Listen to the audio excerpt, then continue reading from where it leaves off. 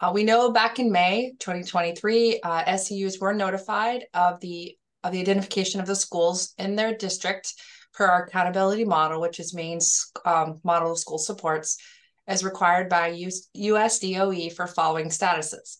So we had to identify for additional targeted supports and improvement or ATSI or what we call tier one, targeted supports and improvement, uh, TSI or tier two, and then comprehensive supports and improvement CSI or what we call tier three and we utilized 21 22 assessment data. This was required by the US Department of Education. Um, and also, when we notified uh, districts um, last May, we also uh, indicated that notifications, um, we also um, indicated that there would be another round of, of identifications uh, that would be conducted in late fall utilizing 22 23 assessment data. We are working really closely with USDOE and getting our amendment approved um, to our Maine's model school support plan that ensures that our accountability model for school identifications provides additional supports where needed most and meets all statutory requirements. We know that it's December um, and we're still working on that. And so we will provide updated information as it becomes available. Thank you, Monique.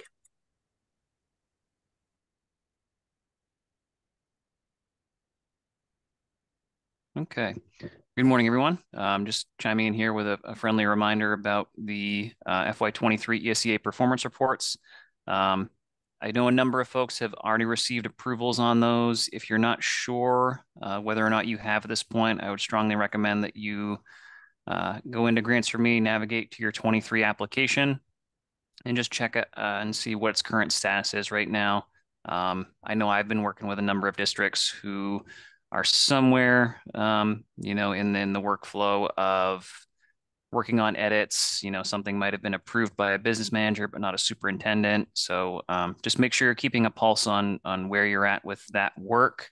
Um, uh, again, if uh, if you're in a situation where your invoicing is not current as of uh, September 30th of 23 uh, for your FY23 funds, it is going to make it somewhat more difficult um, for you to, to work through your performance report and for us to be able to ultimately approve it.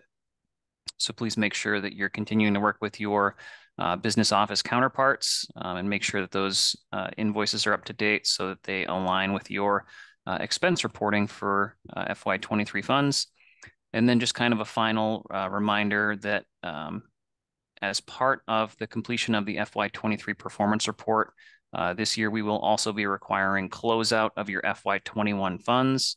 Um, this is something that you kind of expect moving forward um, as we kind of reach the end of uh, the Tydings amendment waivers that we've gotten from um, some of our older funding sources. So uh, that final uh, closeout of FY21 funds is essentially done through a final revision to your FY21 application, uh, where you more or less just go into each of your uh, project-based expense reporting pages and just update them with final expenditures um, so that when we look at everything, um, you know, all of your funds ideally should be spent. I know I've I've worked with a couple of folks that, you know, are returning a couple hundred dollars or something like that. That's not a big deal if you fall into that situation, but um, please do make sure that you're, you know, using those funds to the full extent that you can to um, support some programming and um, related expenses for your your students and your staff. Um, and I'm also going to throw a, a, link in chat real quick.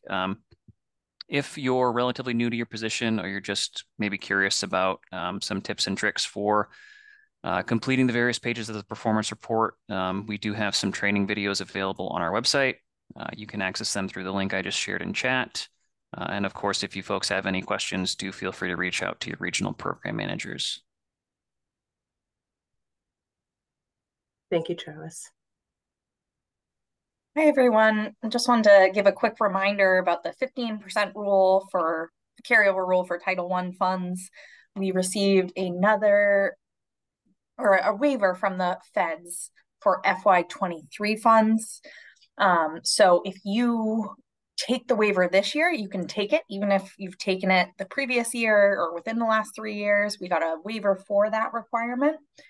But moving forward, you will not be able to take one until three years later. So that would be FY26.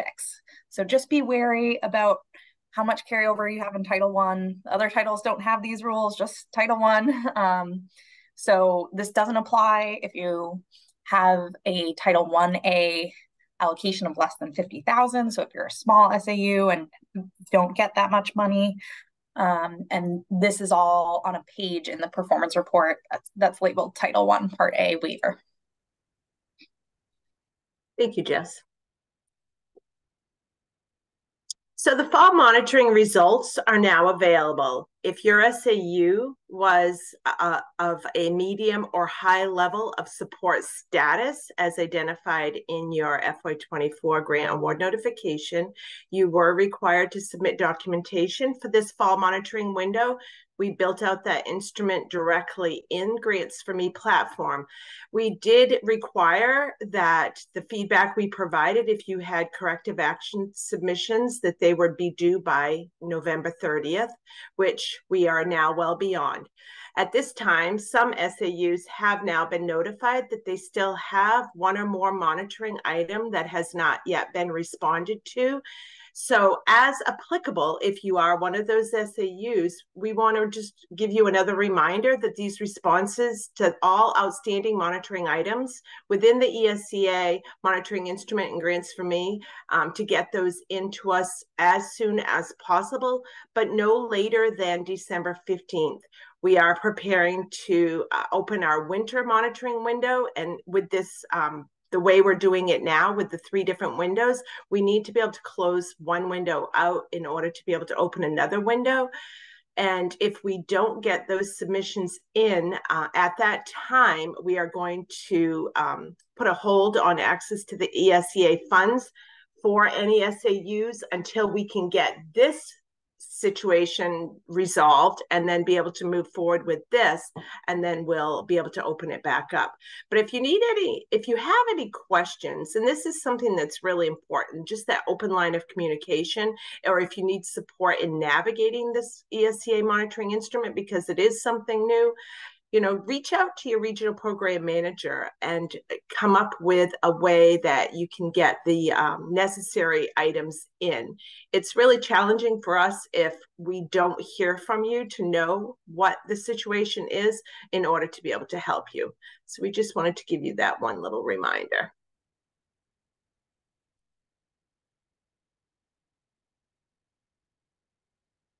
Daniel? All right. Yep. Good morning, everybody. Um, just wanted to reach out and let everyone know that um, for SAUs that are interested in forming a consortium for the purpose of being eligible for a Title III allocation for the upcoming year, um, that option will be made available in the FY25 consolidated application. Um, in order to run allocations, uh, preliminaries, and final, we will need um, documentation by school board approval uh, by uh, April 1st. Um, we are working on developing that consortium form. Um, and as soon as we have more information and that form available, we'll make sure we get that out to everybody. But just wanted to make sure that folks were um, aware so they can start kind of talking to other SAUs that you know might be nearby that um, they might be interested in doing something like this. And So we want to make sure that option was available for you.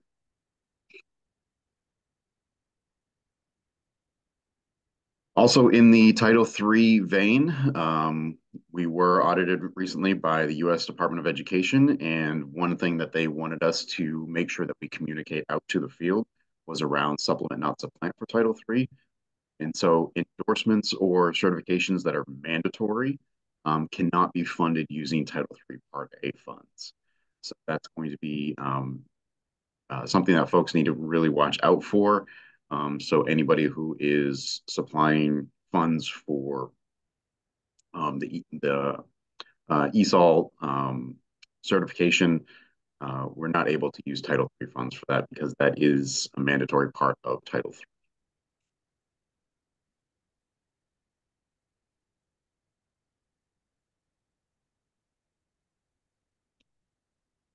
In the Title III vein as well, uh, we wanted to give an update on the Immigrant Children and Youth um, subgrant under Title III.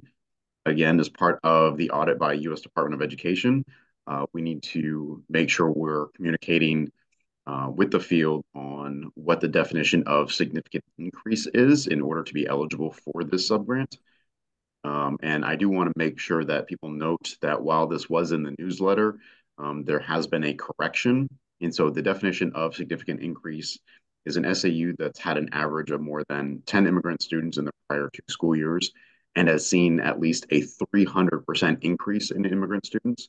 Uh, I believe in the newsletter that went out, it was there was a typo that said 200% increase. Um, so that should be a 300% increase um, in students in order for an SAU to be eligible for this subgrant. Uh, if anybody has any questions on any of these Title III updates, uh, please feel free to reach out. Uh, my contact information is there, and I'm happy to answer any questions folks have. Thank you, Daniel. Good morning, everyone. Um, the first federal fiscal office hour was held uh, last month in November. Unfortunately, I was unable to attend, but I look forward to hearing all about it in today's meeting. Um, these fiscal office hours are for business managers, school administrators that oversee federal programs. Uh, it's where you can go to get your questions answered, any fiscal questions answered. And the main we we strive to have a fiscal representative from all federal grant funds available to you during that time. The next fiscal uh, federal fiscal office hour will be December 28th at 10 a.m.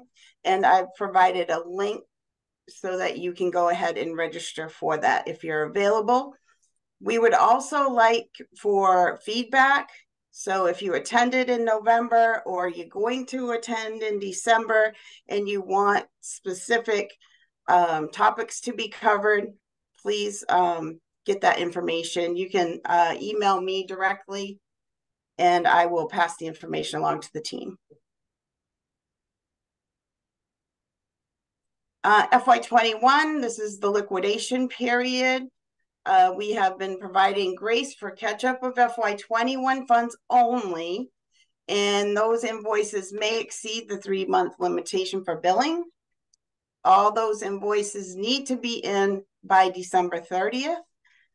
Uh, this also, um, the liquidation period also includes tier three school improvement funds for FY22. Um, obligations for upcoming professional development, travel, and tuition reimbursement are no longer a possibility for these funds. Next slide. Next slide, Cheryl. Oh, I did go to the next slide. Is it not? Okay, sorry. Okay. Um, this is just a reminder that several types of expenses cannot be reimbursed until after the fact. The most common are um, travel, which includes your airfare, lodge, and meals registration fees. Tuition is after successful completion of the class. So, what you need to keep in mind is that if you're going to obligate funds for an expense, they need to be obligated and completed. So, the let's take tuition for example the class would need to be completed as well within the same period of performance. So you need to obligate and complete all work in the same period of performance for the grant. Just keep that in mind. I've seen a lot where um, you're obligating in one year, trying to get reimbursement in the next year, and it's prior to the substantial approval date of the current year funds. Um, consultation agreements after the service has been rendered. And when considering using a specific grant to pay for a contractual agreement, keep in mind that the contract must be signed, obligated, and all work completed within the period of performance for the grant. During budget season, the business manager should communicate with the program specialist to decide which grant is available to cover budgeted costs. Next slide. Uh, this slide is just uh, informational. I have highlighted the funds that are now in the liquidation period, and then all other funds that could be available to you at this time if you still have um, expenses for that period of performance of the grant. Next slide. Uh, non-public schools, reimbursement for equitable services. So I have a link here to the most recent equitable services non-regulatory guidance. This is just a reminder. Uh, when is it appropriate to pay the non-public direct directly for equitable services? Never. You should not be paying non-public entities directly. Um, question two, may ESEA funds be used to pay stipends to private school staff who participate in services and activities funded by covered ESEA programs? The answer there is yes, but you need to pay the stipend to the private school staff. It again cannot be paid to the private school itself. Next.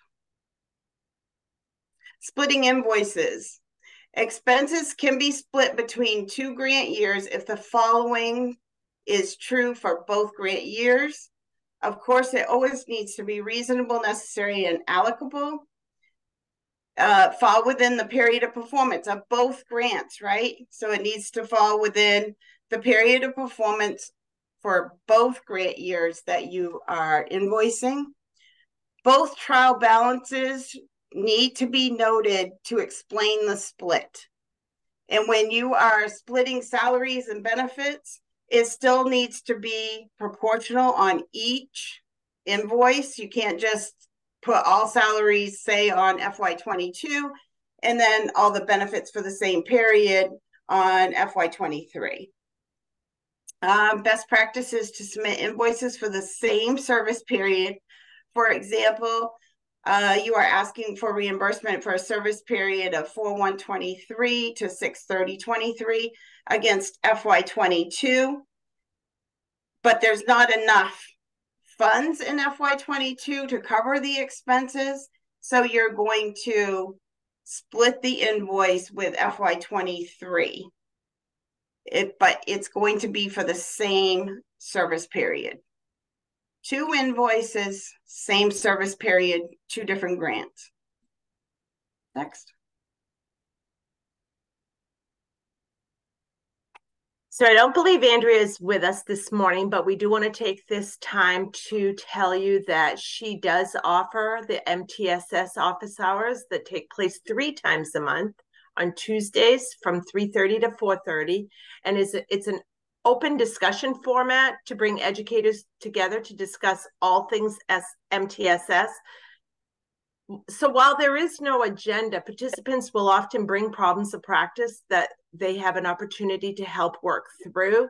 And Andrea will share upcoming PD opportunities to be looking out for and more. So you can come to a whole office hour or you can just pop in, ask a question, get some information and pop back out. She does put the link there. If someone can pop that in the chat, that would be great.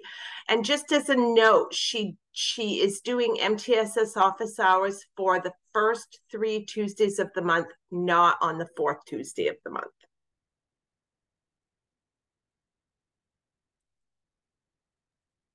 And also as a reminder about professional learning calendar, there are professional learning is offered what, what is offered through the department of education is it's a great resource. And uh, if you go to that website it'll show you all the different professional learning opportunities that are happening um, for that month or for the year. And it is updated regularly um, with the latest professional development opportunities.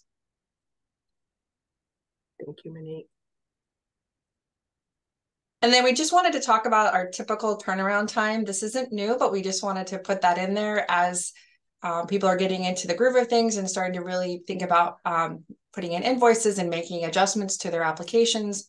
Just want to remind everybody that we do strive for effective and efficient, transparent, and collaborative communication. We do have a, a, document that's on our website that shows our best practices um, and what we're using for optimal communication between um, our team and um, in the field. Um, we do ask that you give the ESEA program manager and coordinator appropriate amount of time to respond before reaching out to another ESEA team member, um, which allow um, that allows us to maintain these best practices. We really thank you for that help with that. Um, and then we will continue to work to strengthen areas of support by utilizing the ones that are most effective and efficient so we can continue to provide you with strong customer service collectively and individually.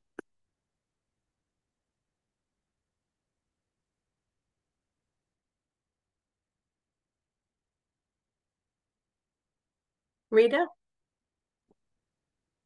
Oh, okay. Um, we have our contact information on the slides. Ryan is out um, on FMLA. I don't know, Cheryl, if we share the news with the field, if you'd like to. Um, but that's our information, and it's online as well. Perfect. Thank you. And this tells you why Ryan is out. Ryan uh, is currently spending time with his growing family as he and his wife just welcomed a new baby girl, Rory Lynn, to their family.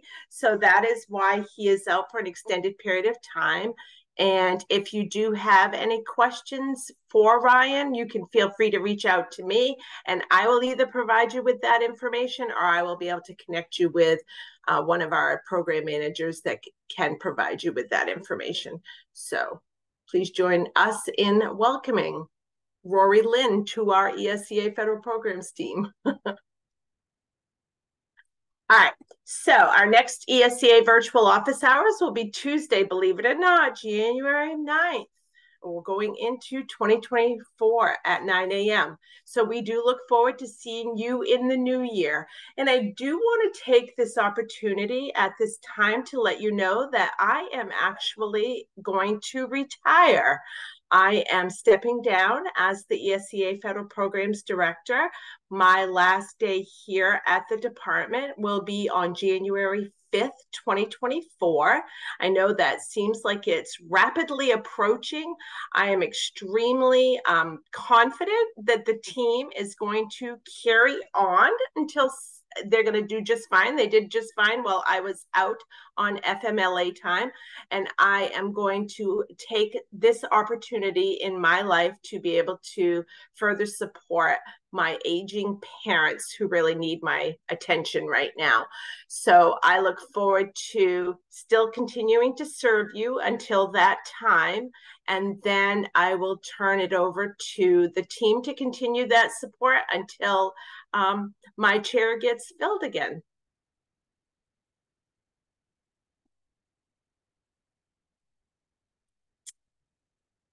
And at this time, we are going to open it up to questions and support needed.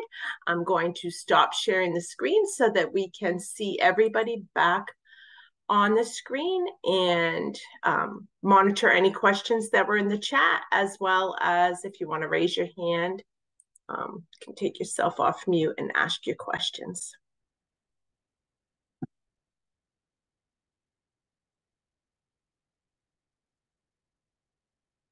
Thank you, Wendy. Thanks, Mark. Thank you all.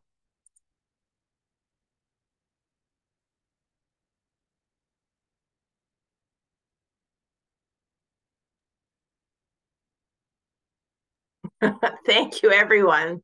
I appreciate it very much. Hi, this is Tiffany from SU76, and I hate to ask a stupid question, but can someone explain the Tydings waiver a little bit more and the carryover? I'm trying to understand enough to bring it back to the rest of the business manager and whatnot. So the as I understand it, the department got a Tydings waiver, and that allows us to, to keep spending down funds. But the individual district can only use a carryover waiver once every three years, and then we will not be able to carry over an excess of 15%. So, say if we used it in 23 for FY23, we cannot carry over over the 15% again until FY26. Is that correct? Yes. Yeah, Tiffany, it's what happens is with COVID and all of these waivers, we have we've got two waivers going on. A Tydings waiver is just an additional year of fund spending. So that's for FY twenty two funds. To not twenty for FY twenty two funds. Right. So Tydings is separate from the Title One waiver. Okay, you go yes. with Type One waiver, Rita. Yeah, no, exactly. Jess is right. We apply for two different waivers and have over the last couple of years. The statute in Title One says a district should not be carrying over more than 15% in Title One um, because then you're not serving the students in that current year, in that current program. So it's much more strict than the other titles when it comes to if you're not spending it, you can lose it. We have applied for those waivers the last couple years, so there has been no every three years. It's been every single year we've renewed our promise that our LEAs are doing their best to spend their Title One. They've had ESSER funding, um, other disruptions. Um, but what we're saying now, Tiffany, is there's no guarantee that another Title One waiver can happen again. So if the US DOE says no more, please have your LEAs in Maine be spending their Title One funds then the next time you can carry over or keep more than 15% of your Title One will be, as you mentioned, Tiffany, in FY26.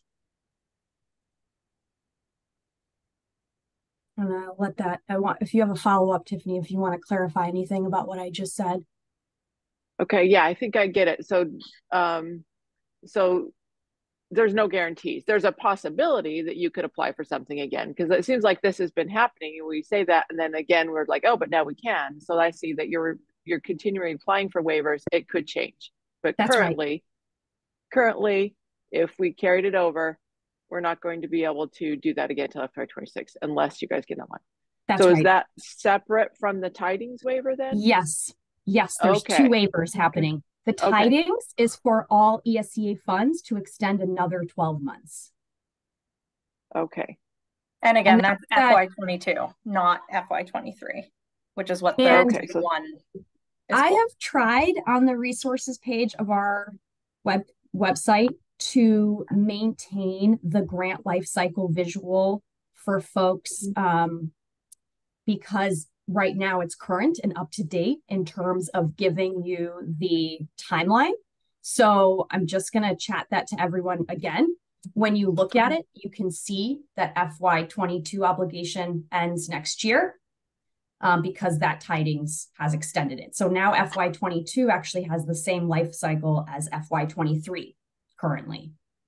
So it does roll the boulder down the hill. It can be positive for districts, and it can also mean that you're handling more funds for longer, um, which is another not headache, but it's another thing to mm-hmm. be thinking about. So I try to keep that that visual up to date, at least so it's clear really when those years are over for funding. Uh, thank you. That's actually super helpful because now I understand there's two waivers that yeah. is helpful and I see what's going. I think I got it now. Thank yeah. you so much yeah. for clearing that mm-hmm. up. And if I can just chime in real quick, one other way to to think about this in a in easier terms is that with that excess carryover waiver piece for Title One, right? It, it, you're always working on that three-year limitation, right? Once every three years. Essentially, what the federal waiver does for us is it resets the clock on that three years. So, right. So if you requested something this year, but we get a waiver next year, you can apply for a waiver next year and it restarts that three year clock, if that makes sense. Um, and again, but we're not promising that yet. So that's correct. why we are trying correct. to be really clear that normally you can't be carrying over this much. We want to get to a flow where you're spending. Uh, understandably, there's been a lot of disruption, a lot of additional funding. Um, but yes, that's a good goal to set for a district is when you know you've carry over, over more than 15% in a year, be thinking that the next couple years you really cannot, you want to figure out how to spend those down. We might get it again. We might introduce more flexibility. There's no guarantee. Thank you, Rita. Mark? Yes, I was just wondering if somebody could go over the liquidation um, piece again? I'm not sure that I understand just what that was about. Okay, so um, the liquidation period for any grant is 90 days after the end of the grant cycle. So we just, we are closing out FY21 funds and we're in the liquidation period. So you had to obligate and spend your funds prior to 930, but you can still invoice to get reimbursement for those expenses until December 30th. Does that Okay. make sense? Yes, Okay, thank you. you're welcome. And Tyra, I know we were talking about sooner rather than later because if there's an issue with the invoice or anything like that, right? So give yourself maybe two or three weeks prior to that, which I know is about right now. Sooner rather than later always is helpful. Keith, good morning. Good morning. I'm just uh, trying to build some clarity around the tuition um, uh, item that was presented. So as I understand it, um, we can obligate funds um, prior to the course being completed. Uh, with regard to seeking reimbursement, we would do that after the course has been successfully completed. Am I understanding that correctly? Correct, and that all has to take place within the period of performance for whatever grant year you're, you have budgeted those funds for. So for instance, like FY twenty-three, you, you have somebody that's gonna take a course now. You have already obligated because you've approved their tuition reimbursement voucher, saying they could take the course and you would pay for it. Once it's complete and successfully completed, you can get reimbursement, but it's got to be against that FY twenty-three grant. So in other words, like say for instance, we're closing out FY twenty-one, right? You can't obligate that tuition reimbursement prior to 930 23 and the class be taken in November, December, whenever. Does that make sense? It's outside of the period of performance. Thinking of summer work, Mhm. staff were to take a course, I obligate funds for summer course. It gets done. I'm just using this as a hypothetical. Uh, gets done, um, you know, end of August, Mhm. beginning of September. Um, should I have um,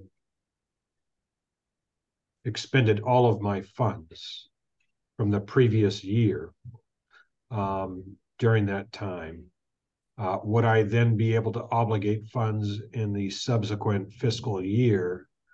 Should I have had substantial approval um, to be able to seek reimbursement? So with that example, um, your substantial approval date is more than likely is not going to in, include the obligation date. Remember, obligation, work, and reimbursement all have to take place in the same uh, period of performance. So, like, you usually have two grants running simultaneously that um, the period of performance overlap, right? Right now we have three 22, 23, and 24 period of performances are, are, are overlapping, right?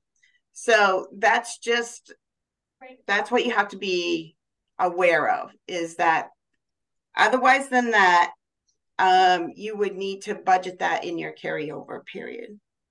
Okay, so that, so ultimately, um, what, what is determined as the DOE's completion is at the end of the course? It is not any local requirements for submitting grades or anything like that. It was just, it would just be the completion of that course. Correct. Okay, Because I mean, we we can't risk uh them signing up for a course and then quitting, right? Or withdrawing. And we've already reimbursed for it. That's that's the premise behind that. Yeah, and our correct. The the only hang up that at times it, that may create is that prevent that um, employee from enrolling in another course uh, until we seek uh, reimbursement and that be concluded. But I get that's not the DOE's problem. I appreciate that uh, clarification. Travis, did you want to add anything to that? Yeah. yeah, I think the, the only thing I was going to add is that, um, so in, in the example we were talking about where perhaps you have fully expended prior year funds and you're solely relying on new year funding, you'll want to make sure that the earliest you have folks sign up for or that you, um, you know, have some sort of MOU with, you know, the university or something like that for that PD would be July 1st. You wouldn't want to, you know, do anything in June because then you you kind of run afoul of uh, even potentially pre-award costs for the new year. So um, if you're talking about anything that's going to transpire over the summer and you need to, you know, get those set up sometime in June, you'd want to make sure you have carryover funds to support those costs. In the event that you don't, uh, you want to make sure that you don't obligate anything prior to July 1st, and you want to make sure that you request pre-award costs in your ESEA application specifically for what those professional development activities would be. Um, so there's there's a page, I think only a handful of folks use it every year, but there's a page adjacent to your um, allocations section uh, in the EC application where you can you know specify we need access to $5,000 of Title II funds for summer PD. Um, and if you do that, more often than not, you'll be able to backdate those Title II expenses to July 1st or whenever, you know, after July 1st, you obligated those funds. So just another piece of information in terms of structuring the application and um, making sure that you're kind of in alignment with being able to get reimbursed for those expenses. Thank you, Travis. Other questions, comments, suggestions?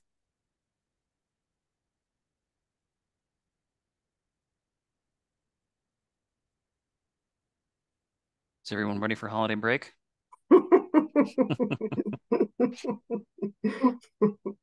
More than ready? I just have one additional question and then I'll stop. Uh, I Sure. just wondering if the ESEA group has had um, recent conversations with the assessment team pertaining to the issue that was presented last year uh, with getting data um, in a timely fashion so that we're able to structure future ESEA applications around goal setting. Yeah, we we absolutely have had those conversations, and we are working with the data team as well as the assessment team on shoring up those li- uh, lines of communication so that we can get things out in as timely as a fashion as possible. So is there an anticipation that we would be getting data um, in in a kind of a time frame that we can establish goal setting over the summer? um, Yes. For the, okay, great. Yeah. It's great to hear. Thank you. You're welcome. One other thing I did want to mention too, um, in relation to my upcoming retirement and in relation to, to Ryan's, um, FMLA time is that he will be returning to the office that the beginning of that week on January 2nd, and then I'll be leaving on January 5th. So I am still here in his entire time off in order to be able to support uh, his um, districts. So don't hesitate to reach out. Any other questions, comments?